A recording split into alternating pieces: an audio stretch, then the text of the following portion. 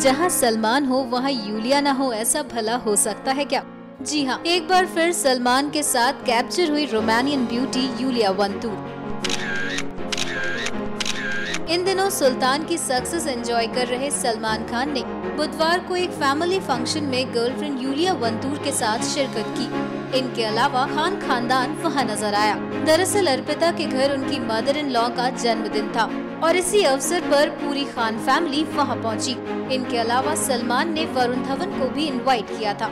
हालाँकि इस पार्टी की गेस्ट लिस्ट अर्पिता और आयुष ने तैयार की थी और सबसे ऊपर उनके भाई सलमान और र्यूमर्ड भाभी यूलिया वंतूर का नाम था।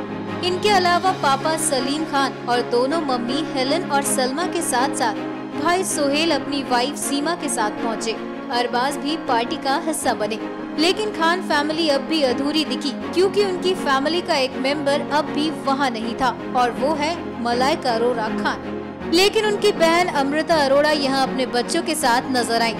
खबरों की माने तो सलमान ने अर्पिता की मदर इन लॉ को बर्थडे गिफ्ट के तौर पर व्हाइट कलर की एक्सयू भी दी है।